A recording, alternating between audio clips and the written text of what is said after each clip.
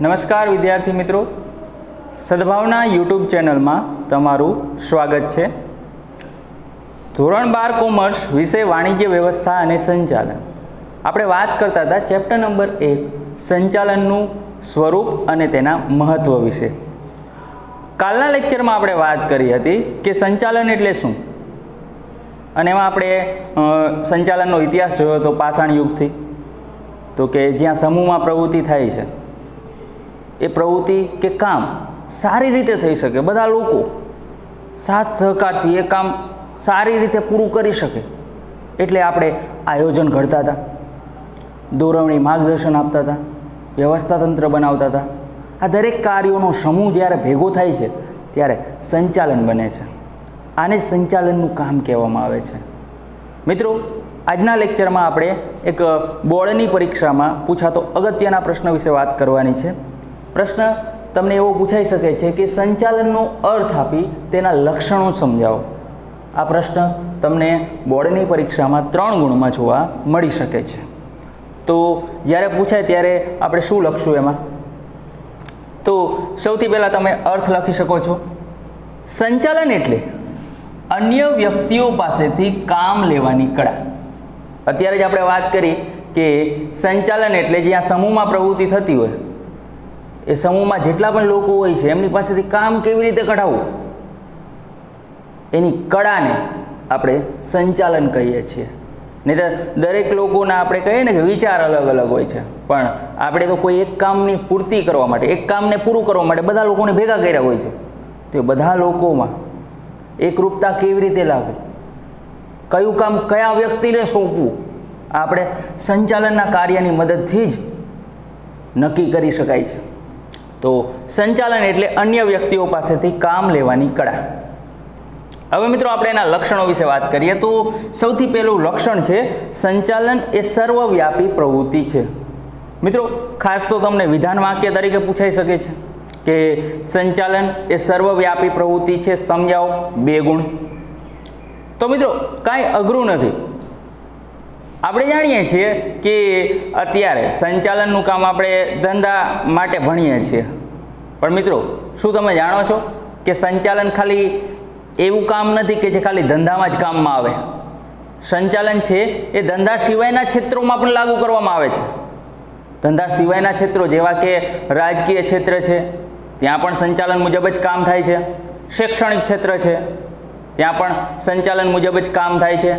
ધાર્મિક ક્ષેત્ર છે કૃષિ ક્ષેત્ર છે, સામાજિક ક્ષેત્ર છે, વગેરે ક્ષેત્રોમાં સંચાલનના કાર્ય મુજબ જ કામ કરાય છે અને સફળતા મેળવાય છે કોઈ પણ કામની અંદર.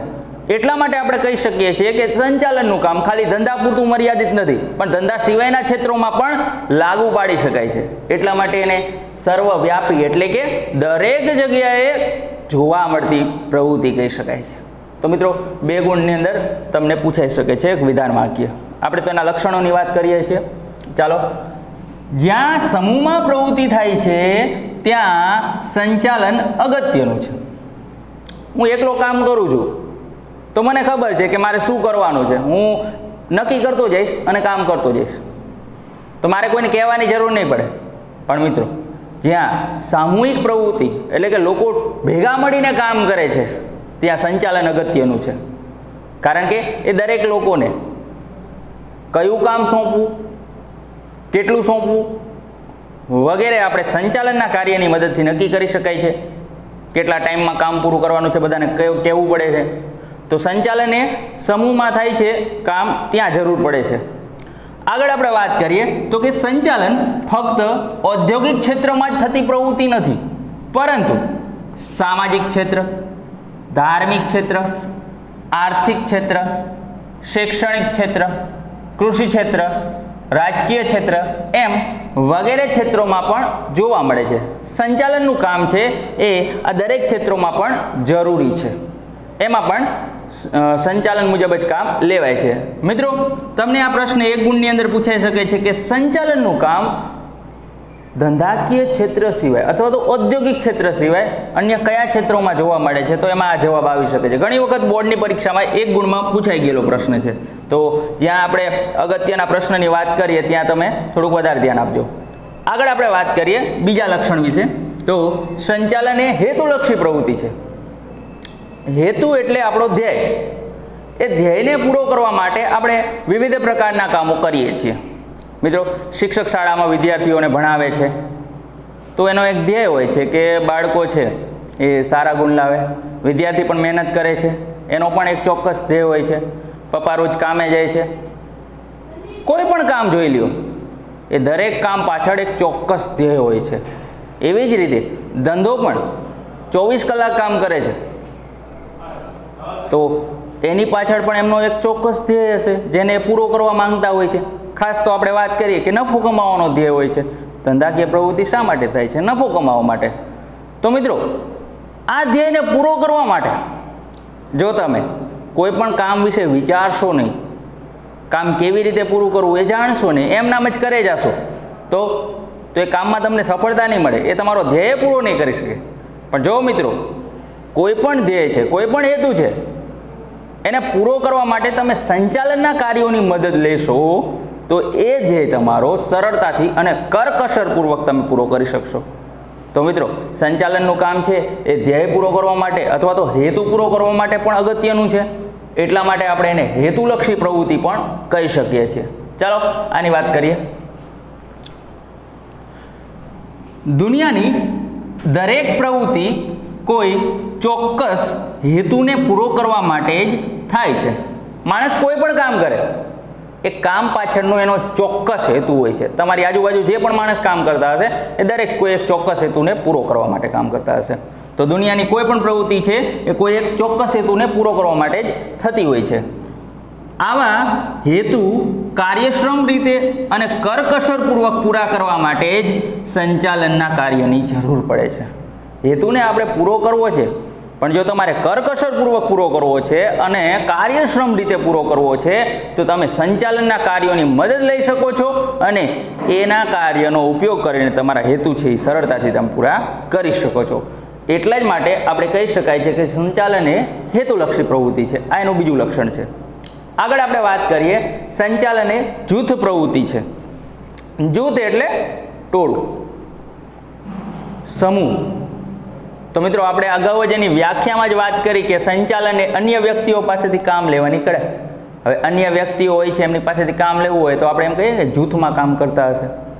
તો જ્યાં જૂથમાં કામ થાય છે, ત્યાં જ સંચાલનના કાર્યોની જરૂર પડે છે. એટલા માટે આપણે સંચાલનને કેવી પ્રવૃત્તિ કહી શકીએ છીએ? જૂથ પ્રવૃત્તિ કહી શકીએ છીએ.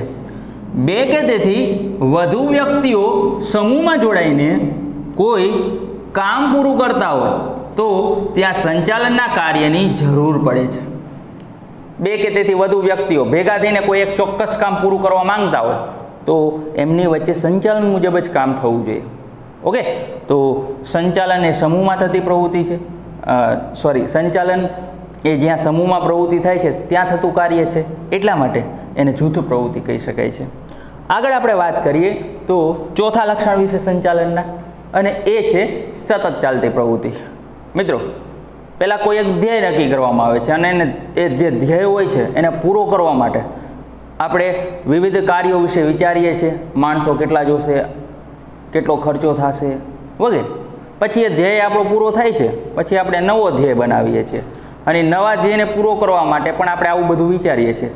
તો મિત્રો, એક ધ્યેય પૂરો થશે, એક હેતુ આપણો પૂરો થશે એટલે તરત આપણે નવો હેતુ બનાવશું. એને પૂરો કરવા માટે પાછા સંચાલન મુજબ કામ લેશું. એ હેતુ પણ પૂરો થઈ જશે, પાછો એક ચોક્કસ નવો હેતુ આપણે ગોતશું. એને પૂરો કરવા માટે સંચાલન મુજબ કામ લેશું. તો મિત્રો, હેતુ નક્કી કરવાનું કામ, એને પૂરો કરવાનું કામ અને પાછો હેતુ નક્કી કરવાનું કામ ચાલતું જ રહેશે. એવી જ રીતે એ હેતુને પૂરો કરવા માટે સંચાલન મુજબ જ કામ ચાલતું રહેશે. એટલા માટે સંચાલનને આપણે કેવી પ્રવૃત્તિ કહી શકાય? તો કે સતત ચાલતી સતત એટલે કોઈ દિવસ બંધ થશે નહીં. ઓકે? જ્યાં સુધી ધ્યેય બનતા રહેશે, હેતુ બનતા રહેશે, ત્યાં સુધી સંચાલનનું કામ પણ ચાલતું રહેશે. તો સંચાલન એ સતત ચાલતી પ્રવૃત્તિ છે. ધંધાકીય એકમના કોઈ ચોક્કસ હેતુને સિદ્ધ કરવા માટે સંચાલન જરૂરી છે. ધંધાનો કોઈ પણ હેતુ છે એને સિદ્ધ કરવો હોય, વ્યવસ્થિત રીતે પાર પાડવો હોય, તો સંચાલન મુજબ જ કામ લેવા પડે. એકવાર કોઈ ધંધાકીય હેતુ સિદ્ધ થઈ જતા નવા હેતુ ઘડાય છે અને સંચાલનના કાર્ય વડે તેને પૂરા કરાય છે. કહી દીધું ને કે તમારો કોઈ એક હેતુ સિદ્ધ થઈ જશે, પછી બીજો હેતુ તમે ઘડશો. એને પૂરો કરવા માટે પાછું સંચાલન મુજબ કામ કરશો. દાખલા તરીકે વાત કરીએ કે ધંધા સિવાયની વાત કરીએ તો શૈક્ષણિક ક્ષેત્ર. તમે ભણો છો તમે દસમા ધોરણની પરીક્ષા દો છો અને દસમા ધોરણની અંદર તમે વિચારો છો કે મારે નેવું માર્ક્સ લાવવા છે. નેવું માર્ક્સ લાવવા હોય તો એના માટે તમારે મહેનત કરવી પડે. તો પછી તમે આયોજન બનાવશો કે દિવસમાં હું ત્રણ કલાક તો વાંચીશ, ચાર કલાક આ સબ્જેક્ટમાં આપીશ ને આવી રીતના તમે આયોજન કરશો. આયોજન કરશો, પછી એ મુજબ તમે અમલ કરશો. ઓકે? અને પછી તમારો ધ્યેય તમે પૂરો કરવા વિશે જુદા જુદા કામ કરશો. પછી તમારા નેવ ગુણ આવી પણ જાય છે. એટલે તમારો હેતુ જે દસમાનો હતો એ પૂરો થઈ ગયો, સિદ્ધ થઈ ગયો. હવે શું? હવે તમે આગળ અગિયારમા ધોરણમાં અભ્યાસ કરશો. અગિયારમા ધોરણની અંદર પાછો તમે એક નવો ધ્યેય બનાવશો. એને પૂરો કરવા માટે પાછું તમે વિચારશો. તો મિત્રો, તમારો એક હેતુ પૂરો થાય છે, તરત બીજો જન્મ લે છે. એને પૂરો કરવા માટે પાછા તમે સંચાલન મુજબ કામ લ્યો છો. તો આવી જ રીતે ધંધો છે. એક વર્ષ એનો હેતુ સિદ્ધ થઈ જાય, પાછો નવો હેતુ બને. નવા હેતુને સિદ્ધ કરવા માટે પાછા સંચાલન મુજબ કામ લેવાય. તો હેતુ કોઈ દિવસ આપણે કહેવાય ને કે એક પૂરો થાય એટલે બીજો જન્મી જ જાય છે. એનો અંત જ નથી. એવી જ રીતે સંચાલનના કાર્યો જ્યાં સુધી હેતુ રહેશે, ત્યાં સુધી એનો પણ અંત નથી એટલે એને સતત ચાલતી પ્રવૃત્તિ કહી શકાય છે. આમ સંચાલનમાં ધ્યેય નિર્ધારણ એટલે કે હેતુ નક્કી કરો, ધ્યેય નક્કી કરો. ધ્યેય સિદ્ધિ, હેતુને સિદ્ધ કરો, હેતુ પૂરો કરો. ત્યારબાદ પુનઃ ધ્યેય નિર્ધારણનું કામ, એટલે ફરી વખત હેતુનું, હેતુ નક્કી કરવાનું કામ સતત ચાલે છે. એટલા માટે સંચાલન એ હેતુલક્ષી પ્રવૃત્તિ છે. આગળ વાત કરીએ તો કે સંચાલન એ માનવીય પ્રવૃત્તિ છે. મિત્રો, જૂથ કોનું હોય? ખાસ કરીને આપણે ધંધામાં વાત કરીએ તો જૂથ એ માણસનું જ હોય. ઓકે? તો માણસ આગળથી જ કામ લેવાનું છે. સંચાલનનું કામ શું હોય છે? તો કે માણસ આગળથી કામ લેવું. તો સંચાલનના કાર્યમાં માણસ છે એ એક અગત્યનો છે. આમની પાસેથી કામ કઢાવવા માટે આપણે બુદ્ધિની, ચાતુર્યની વગેરેની જરૂરિયાત પડે છે. સમજાણું? સામેનો માણસ આપણું કામ એમનામ ન કરી દે. તમે એને ભલે પગાર આપતા હોય. છતાંય એને કરવું હશે તો જ એ કરશે. તો એના માટે આપણે બુદ્ધિ અને ચતુરાઈનો ઉપયોગ કરવો પડે. ઘણી બધી કંપનીઓ છે ને, સ્કીમો રાખતી હોય, બોનસ આપે. બીજી અન્ય સુવિધા વીમાની સુવિધા આપે. અથવા તો બીજું કાંઈ પણ એવું લાલચ આપી દે કે લોકોને કામ કરવા માટે મજા આવે. તો મિત્રો, સંચાલન છે એ વિવિધ તરકીબો દ્વારા માણસો આગળથી કામ કઢાવે છે. ઓકે? તો એ માનવીય પ્રવૃત્તિ છે. ઓકે? ચાલો એના વિશે વાત કરીએ. સંચાલનની પ્રવૃત્તિ માણસો માટે થાય છે તેમજ માણસો દ્વારા થાય છે. સંચાલનનું કામ માણસો માટેનું છે. હમ? અને એ કામ કરાવવાવાળા પણ માણસો જ હોય છે. સંચાલન મુજબ કામ થાય એ જોવાવાળા પણ કોણ હોય છે? માણસો જ હોય છે. તો સંચાલનની પ્રવૃત્તિ માણસો માટે થાય છે અને એ માણસો દ્વારા થાય છે. આગળ. સંચાલનમાં માણસ છે એ અગત્યનું સ્થાન ધરાવે છે. કારણ કે જો તે ન હોય તો બાકીના સાધનો નકામા બને છે. તમારી પાસે લાખો રૂપિયા છે. પણ એનો ઉપયોગ કરતા જ તમને નથી આવડતો. અથવા તો ઉપયોગ કરવાવાળો કોઈ છે જ નહીં, તો એ પૈસો જાતે જ પોતાનો ઉપયોગ નથી કરી શકતો. એવી જ રીતે તમારી પાસે સારા એવા મશીનો છે. તો એ મશીનોને ચલાવવા માટે પણ માણસની જરૂરિયાત પડે છે. એમ નામ તો ચાલવાના નથી. તો આપણે એમ કહી શકાય છે કે જો ધંધામાં માણસ જ નહીં હોય, તો અન્ય જે ઉત્પાદનના સાધનો છે, એની કોઈ જ કિંમત નથી. મશીન હાથે જ પોતાનું કામ નહીં કરી શકે, એને ચાલુ બંધ કરવા માટે પણ માણસની જરૂરિયાત પડશે. સમજાણું? પૈસો પણ જાતે જ પોતાની જગ્યાએ ઇન્વેસ્ટ નહીં થઈ જાય. એને પણ માણસ દ્વારા જ ઇન્વેસ્ટ કરવામાં આવશે, રોકાણ કરવામાં આવશે. તો જ્યાં માણસ જ નહીં હોય, તો ઉત્પાદનના અન્ય સાધનો જે ધંધામાં હશે એ નકામા બની જશે. તો માણસ આગળથી કેવી રીતે કામ લેવું, એ આપણને સંચાલનના કાર્યની મદદથી ખબર પડે છે. એટલા માટે સંચાલન એ માનવીય પ્રવૃત્તિ છે. આગળ આપણે વાત કરીએ તો કે નિર્ણય પ્રક્રિયા. મિત્રો ધંધાકીય એકમમાં વિવિધ પ્રકારના નિર્ણયો ઘડવામાં આવે છે. લેવામાં આવે છે અને એનો અમલ કરવામાં આવે છે. જે સંચાલનના કાર્યની મદદથી સરળતાથી તમે લઈ શકો છો અને એનો અમલ કરાવી શકો છો. એટલા માટે સંચાલનમાં નિર્ણય પ્રક્રિયા જરૂરી છે, એ પણ એનું એક લક્ષણ છે. સંચાલન કરતો સંચાલક, સંચાલનનું જે કામ કરે છે, એને સંચાલક કહેવામાં આવે. સંચાલનનું કામ કરતો સંચાલક વિવિધ પ્રકારના નિર્ણયો લે છે અને તેનો અસરકારક અમલ કરાવે છે. ઓકે? નિર્ણયો લેવાનું કામ કોણ કરે? ધંધામાં સંચાલક કરે. અને સંચાલનના કાર્યની મદદથી જ કરી શકે છે. એટલા માટે સંચાલનમાં નિર્ણય પ્રક્રિયા જરૂરી છે. આગળ આપણે વાત કરીએ તો કે સંચાલન એ વિજ્ઞાન પણ છે, કળા પણ છે અને વ્યવસાય પણ છે. મિત્રો, વિજ્ઞાનનું શું હોય છે ખાસિયત? તો કે વિજ્ઞાન છે એ એક અમુક ચોક્કસ પ્રકારના સિદ્ધાંતો મુજબ જ ચાલતું હોય છે. સમજાણો? સિદ્ધાંત ના હોય, નિયમો ના હોય તો વિજ્ઞાનની કોઈ કિંમત નથી. વિજ્ઞાન ન આગળ વધી શકે. એમને પોતાના જે તારવેલા સિદ્ધાંતો હોય છે એ મુજબ કામ કરતા હોય છે. તો મિત્રો, સંચાલન પણ પોતાના અમુક ચોક્કસ પ્રકારના સિદ્ધાંતો મુજબ. અગાઉ આપણે ભવિષ્યમાં લેક્ચર લેશું, તો આપણે સંચાલનના સિદ્ધાંતો વિશે પણ વાત કરવાના છીએ. મિત્રો, આ સિદ્ધાંતો મુજબ જ સંચાલનનું કામ થાય છે. તો વિજ્ઞાન પણ સિદ્ધાંતો મુજબ ચાલે છે, સંચાલન પણ સિદ્ધાંતો મુજબ ચાલે છે. એટલા માટે સંચાલનની સરખામણી આપણે કોની સાથે કરી શકાય? વિજ્ઞાન સાથે કરી શકાય. તો કે સંચાલનની પ્રવૃત્તિ વિજ્ઞાનની માફક સિદ્ધાંતો મુજબ આધારિત છે, એટલા માટે એક વિજ્ઞાન છે. આગળ આપણે વાત કરીએ તો કે સંચાલન એ કળા છે. મિત્રો, સંચાલનમાં માણસ અગત્યનો છે અને માણસ પાસેથી કામ લેવા માટે બુદ્ધિની જરૂર પડે છે. કૌશલ્યોની જરૂરિયાત પડે છે અને વિવિધ પ્રકારની આવડત હશે, તો જ આપણે માણસ આગળથી કામ સારી રીતે કઢાવી શકશું. અને એ આવડત હશે, તો જ આપણું કામ અને આપણો ધ્યેય પૂરો થશે. તો જેની પાસે આવડત છે, એ સંચાલક છે. તો કે સંચાલન એ કળા છે. સંચાલનના કાર્યમાં માનવી પાસેથી કામ કઢાવવાનું હોય છે. તે માટે બુદ્ધિ અને ચાતુર્યની જરૂર પડે છે. તો સંચાલનને આપણે કળા તરીકે પણ ઓળખાવી શકાય છે. અને મિત્રો, આધુનિક સમયમાં, આજકાલના જમાનામાં સંચાલનનું જ્ઞાન માણસ મેળવતો રહ્યો છે. કોઈ સંસ્થા આગળથી એ જ્ઞાન મેળવે છે અને એ જ્ઞાનનો ઉપયોગ આવક મેળવવા માટે કરે છે. એટલા માટે આપણે એમ કહી શકાય કે સંચાલન એ આજના સમયમાં એક વ્યવસાય બની ગયો છે. તો મિત્રો, આ સંચાલનના અગત્યના સાત લક્ષણો છે, જેને એક બે વખત રિવિઝન કરતાં આપણને ખ્યાલ આવી શકે છે. ધન્યવાદ.